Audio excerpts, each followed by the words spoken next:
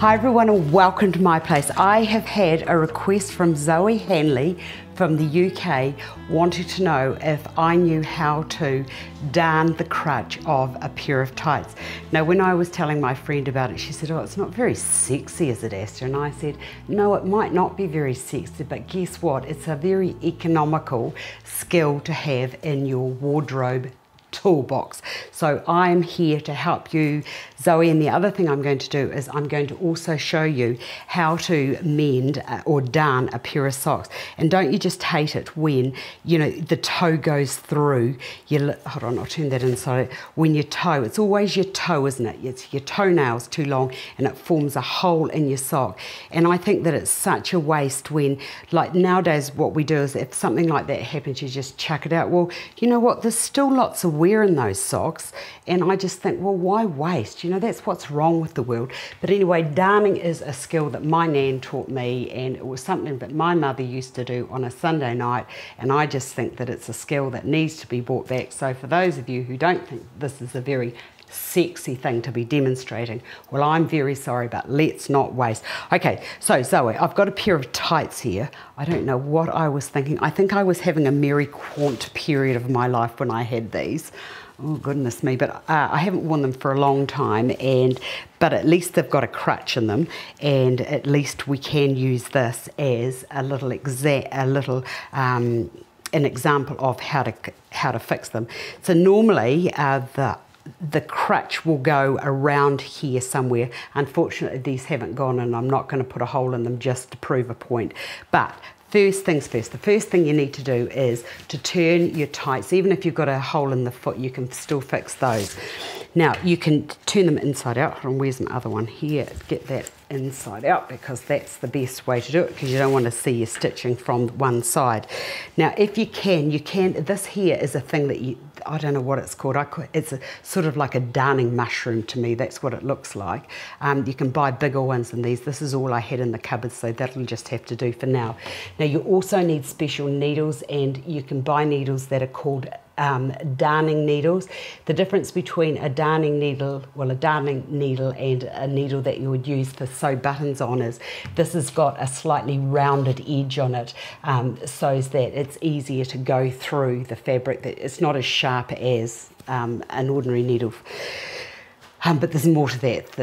We don't need to know about that. You just buy a darning needle. Now, the other thing is you can buy cotton or you can buy wool. I actually prefer to use the wool because it's softer than using um, anything else. And I'm just assuming that um, Zoe, is it Zoe? Yes, it is. Zoe, your tights are woolen, so let's just use wool. And for today's purpose, I'm going to use yellow because I need you to see what I'm doing. Now, you can either buy this really lovely fine thread, which is about two or three strand, or you can just use ordinary wool.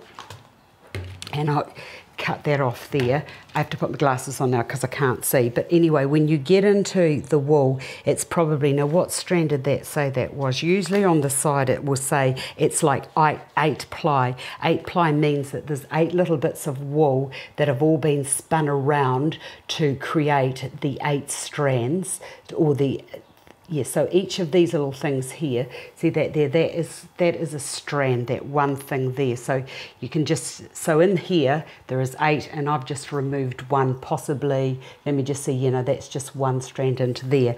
Now, um, the other little tip I need to tell you is don't use really long bits of of wool because it will just make it too difficult. The reason um, I've taken away the strands is I don't need all that thick eight strands. I only need maybe one or two for the purpose of what we're doing today. So getting my needle, and I need to put my glasses on because I can't see getting my darning needle and you'll also notice that it's got you might not be able to see that but if I do that way there it's got quite a big hole there and that's been um, designed so that you can get a decent bit of wool through there. Right cut that to the length because use matching matching but to show you what I'm doing let's just make sure it's yellow.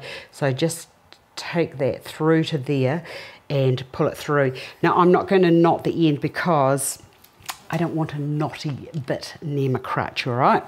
So when you get into here, you'll notice that when the manufacturer has made these, they've actually gone over and over and over.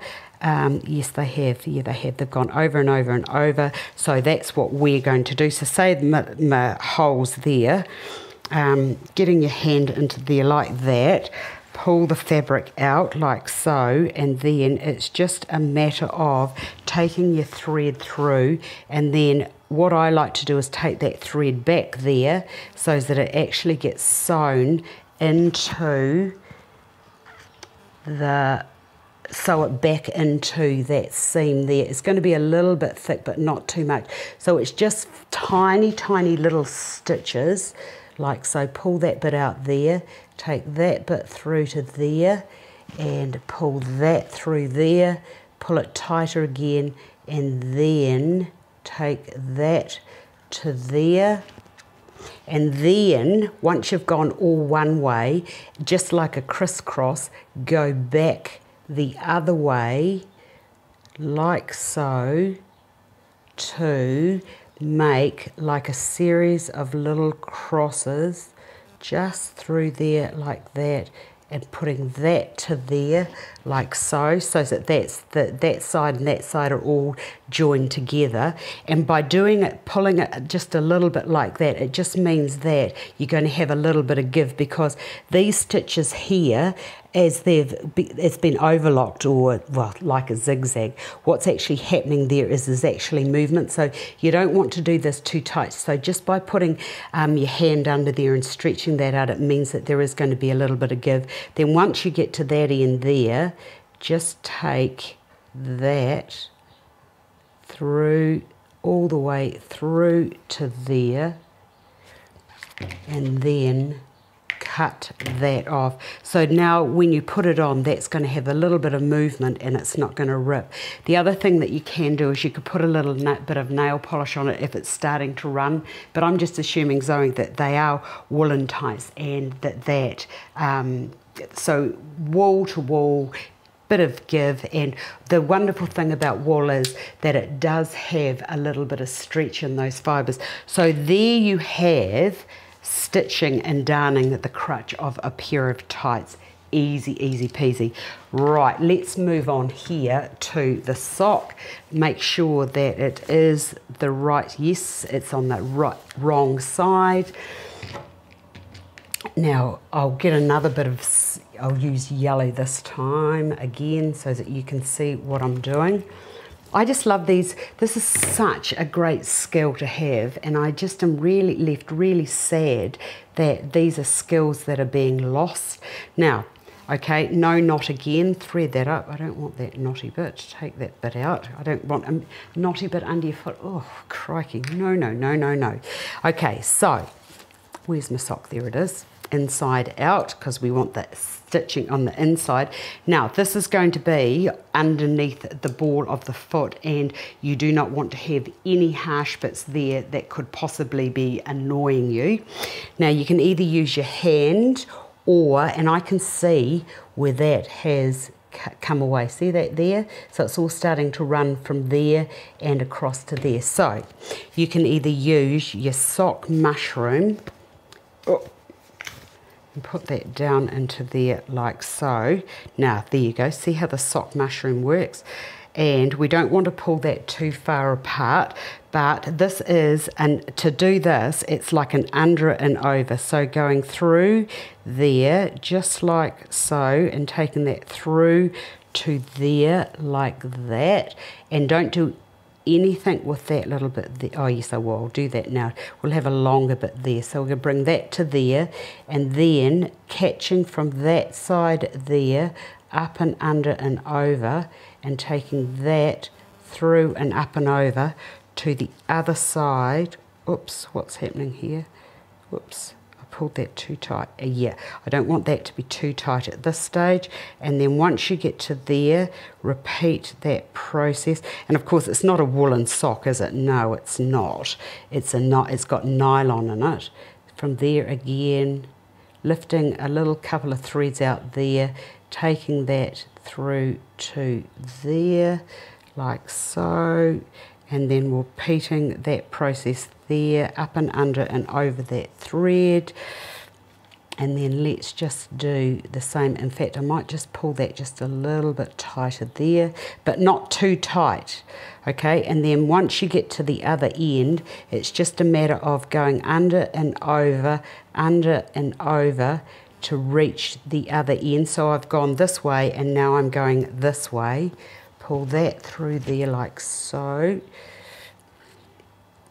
And then turning that around and repeating that process by going under and over and under and over to reach the other end like so. And as I said you're best not to have.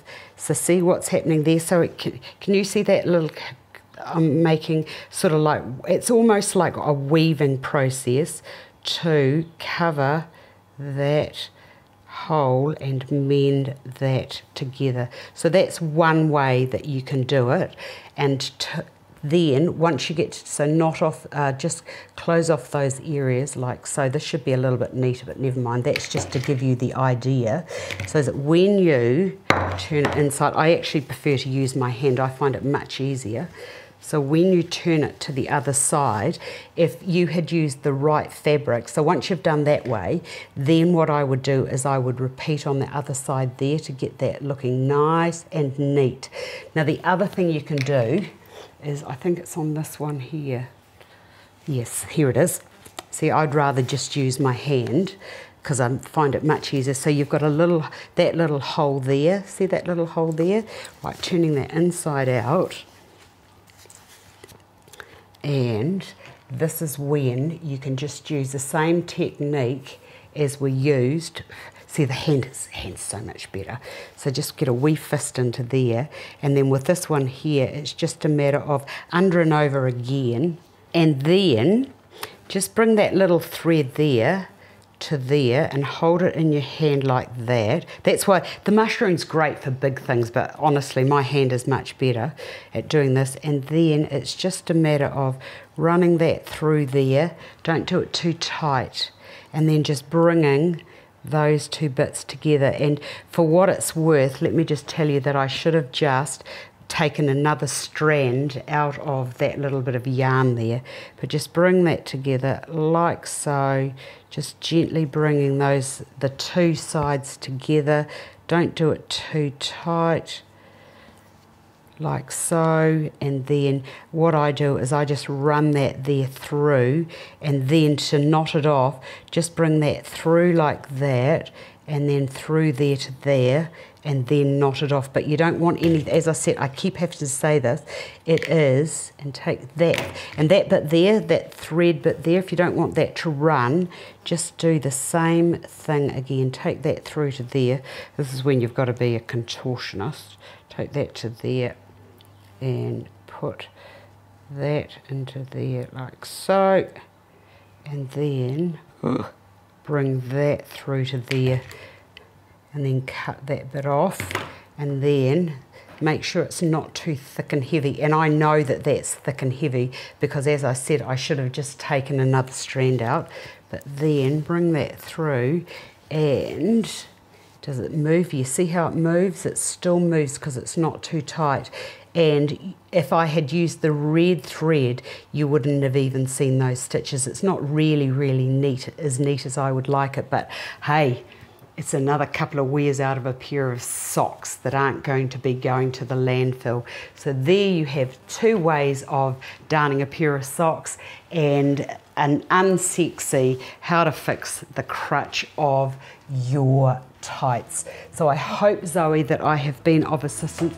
I'd really like it if you could have been here and I'm thinking we need to get into Skyping so that I can do demonstrations and do one-on-ones. But anyway, that's going to have to keep for now.